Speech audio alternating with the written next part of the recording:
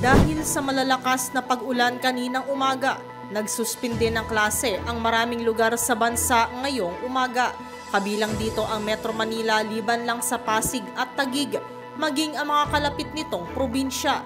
Uminit ang ulo ng publiko nang huling mag-anunsyo ang Maynila sa suspensyon ng klase habang barabarangay ang pag-anunsyo sa Quezon City. Karamihan naman sa mga barangay sa QC na nag-anunsyo ng walang pasok ay sa mga pampublikong paaralan hanggang senior high school lamang. Malakas din ang nararanasan ng mga pag-ulan sa Pampanga at Bataan, kaya't nagdeklara rin ang mga ito ng walang pasok sa klase.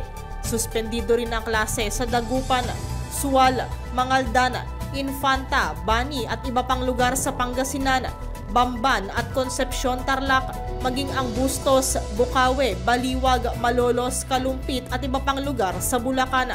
May mga lugar din sa Cavite na walang pasok tulad ng Bacoor, Cavite City, Kawit, Noveleta, Dasmariñas, Tanza, Naik, Maragondon at Imus.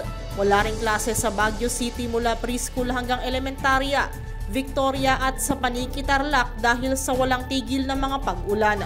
Mula sa kauna-unahan sa Pilipinas, DZRH, ito si Nicole Lopez. Tuloy-tuloy sa magbabalita, tuloy-tuloy sa serbisyo, sama-sama tayo Pilipino.